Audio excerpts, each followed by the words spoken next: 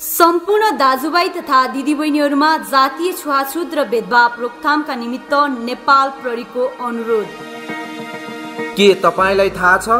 कुनै पनि व्यक्तिलाई प्रथा परम्परा धर्म संस्कृति रीतिरिवाज वा अन्य कुनै नाममा जात जाति वंश समुदाय पेसा व्यवसाय वा शारीरिक अवस्थाका आधारमा जातीय तथा अन्य सामाजिक छुवाछुत तथा भेदभाव गर्नु दण्डनीय अपराध हो।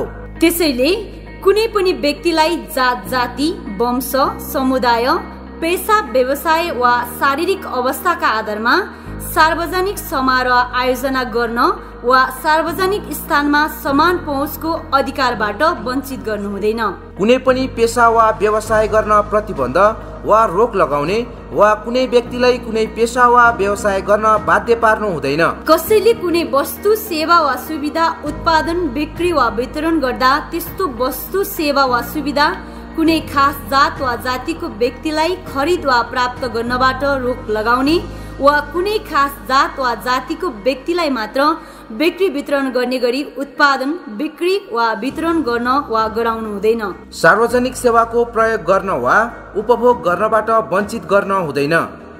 कसैले परिवारका कुनै सदस्यलाई बहिष्कार गर्ने घरभित्र प्रवेश गर्न नदिने वा घर वा गाउँबाट निकाल्ने वा निस्कन बाध्य तुलाउने कार्य गर्न वा गराउनु हुँदैन।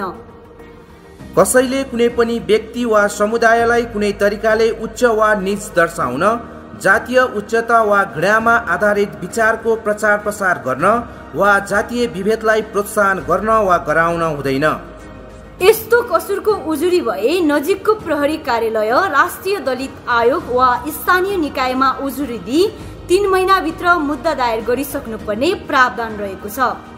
यस्तो कसुर गर्नेलाई अपराधको प्रकृति बमोजिम अधिकतम तिन महिनादेखि तिन वर्षसम्म कैद र पचास हजार रुपियाँदेखि दुई लाख रुपियाँसम्म जरिवाना हुनेछ। आम नेपालीको आवाज जातीय छुवाछुत र भेदभाव मुक्त समाज। जातीय छुवाछुत र भेदभाव विरुद्धको प्रतिबद्धतामा हामी सबैको ऐक्यबद्धता। आम नेपालीको आवाज जातीय छुवाछुत र भेदभाव मुक्त समाज।